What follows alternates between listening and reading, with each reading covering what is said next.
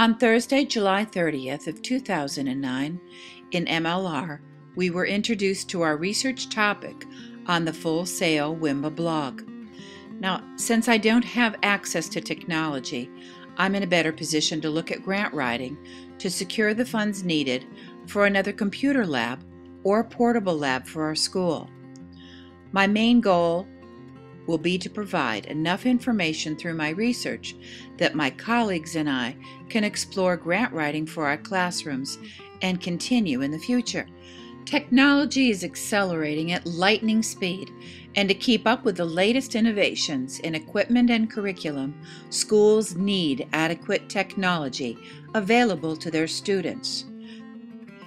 Technology advances have made it possible for students to incorporate international multicultural writing opportunities, collaborative wiki websites, podcast interviews and storytelling, multimedia presentations, video productions, and hosts of exciting and creative ways to engage the learner.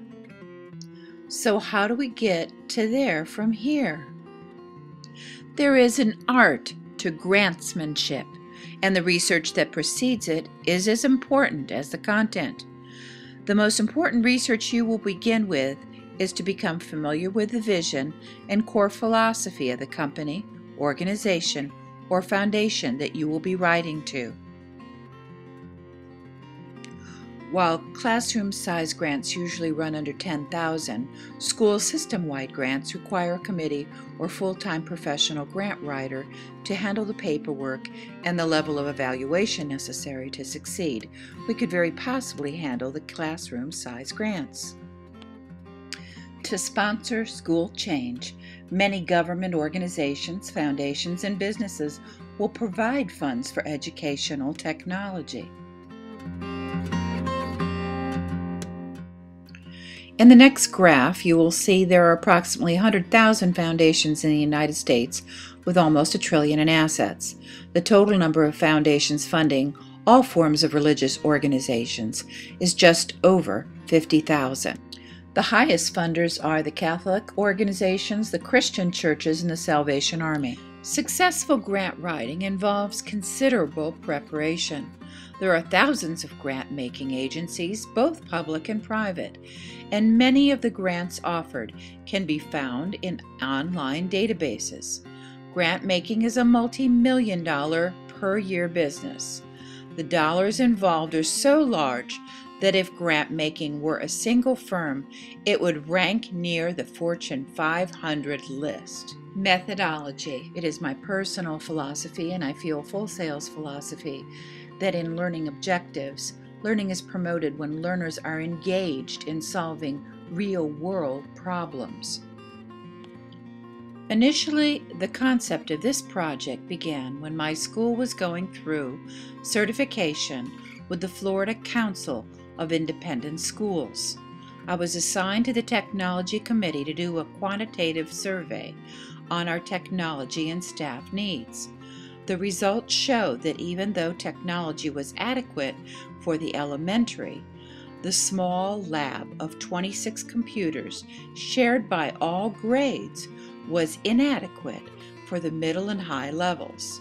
Whereas there are nine computers in our media center and four desktops in our literature room, our needs were obvious.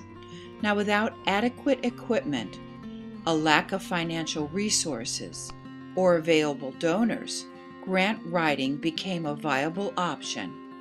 In my personal quest to update my computer skills, when I saw through Facebook that Full Sail offered a $12,000 scholarship to teachers, that opened up the possibility for me to get my master's. Now, for my choice of grant writing, we are well aware that the old ways don't work. We relied on tuition, fundraising, donated gifts but we found ourselves uh, lagging behind, caught in an economic bind. So we had to do something different, and grant writing done by teachers is a very viable way for funds.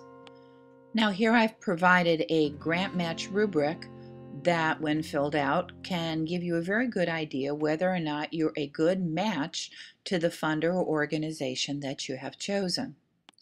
This is a project timeline I found on Creative Commons, which gives an overview of tasks that, when done in sequence, provides a checklist to follow and can be customized to your project needs. Now, research, of course, is your most valuable asset. The internet has become an excellent way to locate grant opportunities.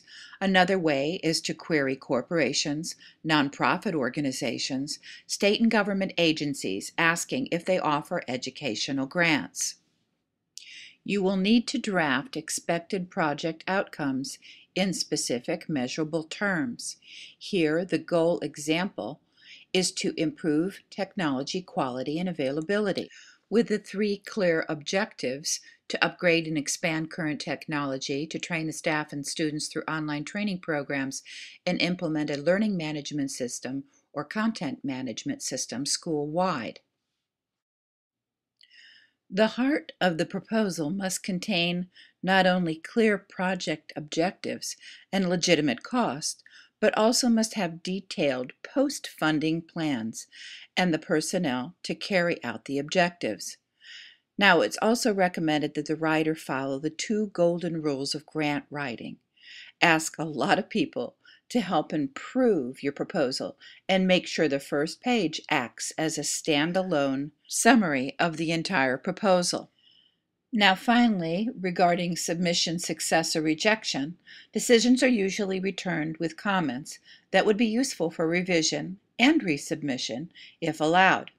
A critical factor in your drive toward progress is attitude.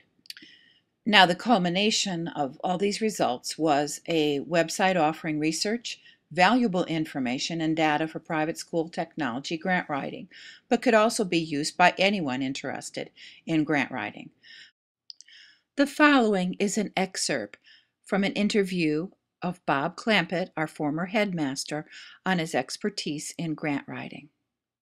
Mm-hmm. It's, we're just too young in the process. Yeah. So as we mature, as we grow, as we develop a history of grant winning, uh, grant experience, I feel that workshops or uh, retreats that would embrace grant writing, uh, not really solely as the reason for the retreat, but um, a high-level administrative retreat where we may spend one or two days uh, talking about the mission and vision of our school. I can tell you that grant writing will play an integral part to come. Mm-hmm. Here's the thing that they do realize. They realize that the old-fashioned methods, for lack of a better word, of financing a private school, which would be tuition and endowments and gifts. Um, can't get the job done anymore, Patty. Yeah. They've got to go above yeah, and beyond. That landscape has changed. That yeah. landscape has changed. Yeah. That's a good. Yeah. That's a good way to put yeah. it. That and, it, and there's so there's so much information and resources now that are online, but people don't know how to access them. That's true. So if there was like a central website, which is what I'm trying to do, um, that people could go to and just begin to get an idea of the accessibility and of, of the possibilities of what they could do and they could contribute, that that horizon would Absolutely. broaden and that Absolutely. would open up. You know, this is a yeah. technology-driven society now.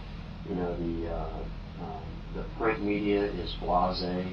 You know, people are accessing information on the web. Uh, they're access- they want instantaneous results. So I see your project uh, as right at the cutting edge of where it belongs. The timing couldn't be any better. There are numerous opportunities and a constantly changing landscape of grant possibilities. While one agency may not accept your proposal, another may think it a worthwhile endeavor.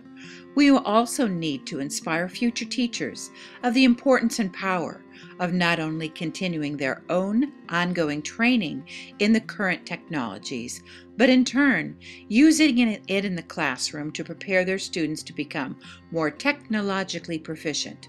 The success of their future and ours depends on it.